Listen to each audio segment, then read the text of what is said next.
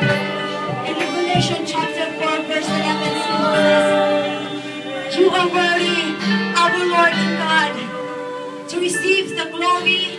honor, and thanks. For you created all things,